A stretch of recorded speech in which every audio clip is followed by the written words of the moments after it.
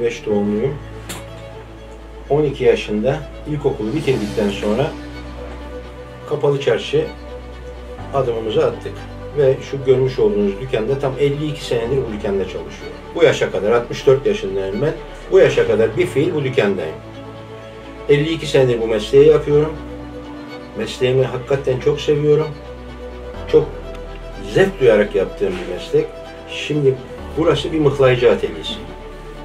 Mıhlayıcı atölyesi dediğimiz vakit mücevherlerin üzerindeki taşların yerleştirmesini biz yapıyoruz. Buraya nasıl geliniyor? Dökümden dökülüyor. Dökümden döküldükten sonra tesviyeler yapılıyor. Tesviye yapıldıktan sonra mal cilaya gidiyor. Cila bittikten sonra iş müşterinin yanına gidip deliklerine göre taşlar dizilip bizlere taşların konulması için bize geliyor.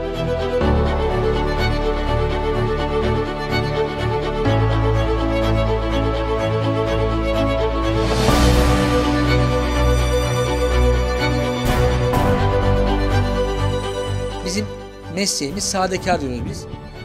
Ee, el işçiliği. Abi tabii şimdi el işçiliği fazla kalmadı. Ben 9 yaşından beri bu işi yapıyorum. Ee, sene 89'da girdim bu işe. Okullarda geldim. Bu işi yaptım. Şimdi dükkan açtık.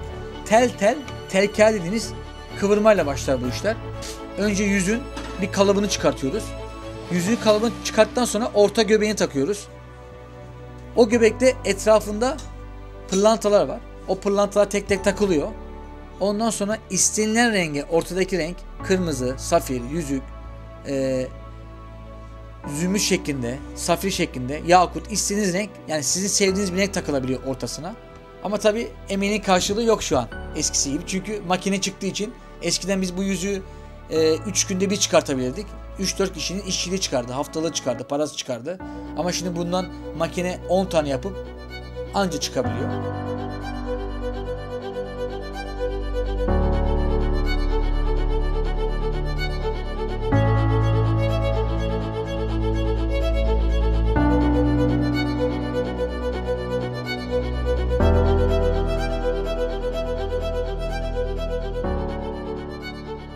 Burası bir atölye, el işçiliği atölyesi. 2007'de başladım bu mesleğe. Yani yaşımız hayli ufaktı, 16 yaşında. İşte bir yandan okul, bir yandan iş, ikisini birlikte yürütmeye çalıştık. Bu meslek baya bir zaman gerektirecek bir meslek yani. İnsanın eee zamanını alacağı için erken yaşta başlaması lazım. Yani çok sonradan çırak yetişmiyor artık bizim meslekte. İşi bilen, işin her şeyini yapabilen çırak yetişmiyor. Kılar. İlk önce ana kalıbı alındıktan sonra dökümhane dediğimiz e, bir bölüm var bizim bu sektörde. Ürünler oradan döküldükten sonra atölyeye gelir. Atölyede onların koçanı kesilir, ürüzleri temizlenir, boyları yapılır. E, ondan sonra cema taşları takılır. En son kontrolleri yapılır, kaynağı konulur. Ondan sonra cila işlemine geçer.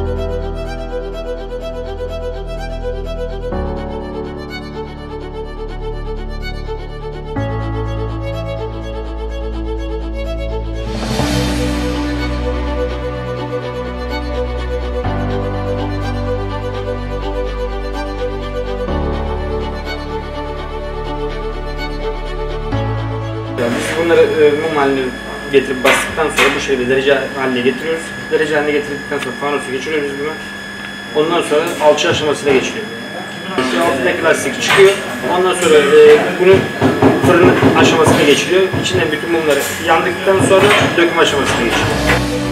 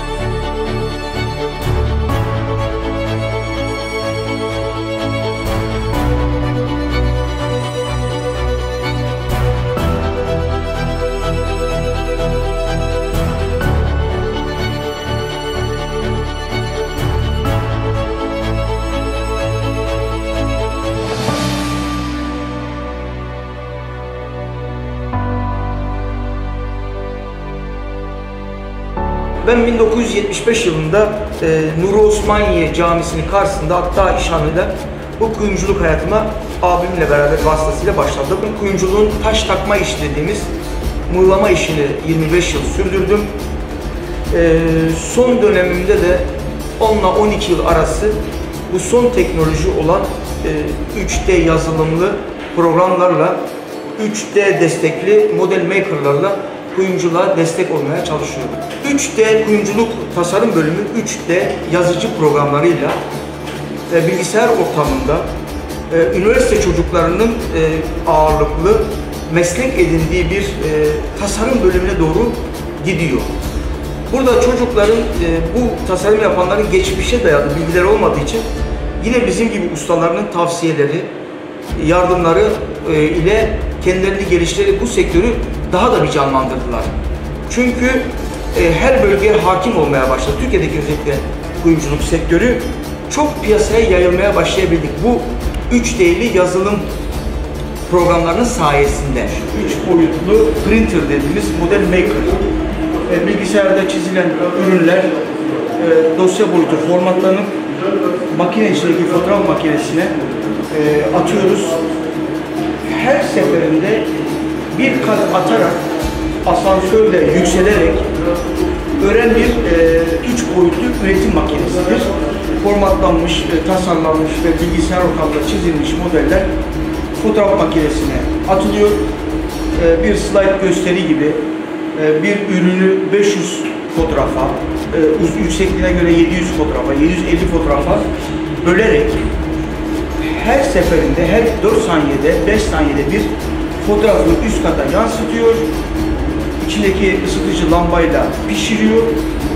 İkinci fotoğrafı yansıtıyor. Bu esnada asansör bir milim yukarıya kalkıyor. Pişirme, yansıtma, pişirme, yansıtma ürün üç boyutlu burada bitmiş oluyor.